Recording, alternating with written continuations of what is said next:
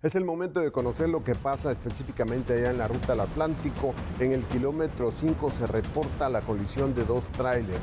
Uno de ellos botó carga, que es Block, y esto está provocando un serio congestionamiento, sobre todo a las personas que van a ingresar a la ciudad capital. Ya tenemos estas imágenes más que elocuentes del problema que ocurre.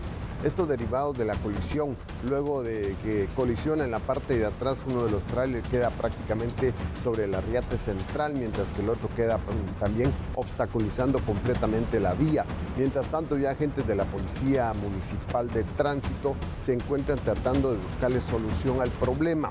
Se está desviando el tránsito a la calzada de La Paz y a otro sector para la zona 6, específicamente Bugambilias. Esta es la situación que prevalece, así que usted si vive en algún sector de la zona 18, zona 17 o si viene procedente del Atlántico a la ciudad capital, utilice vías alternas derivado de este problema que ya provoca varias filas de vehículos. También se reporta que ya hay grúas en el sector tratando de movilizar eh, los eh, pesados vehículos, pero también se está tratando de quitar todo el bloque que ha quedado sobre la cinta asfáltica, esto para poder dar paso a los vehículos.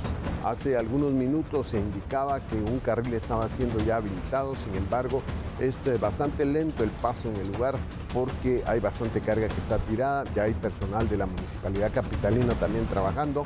Mientras tanto, los bomberos reportan que no ninguna persona resultó herida, únicamente el problema del paso vehicular en este sitio.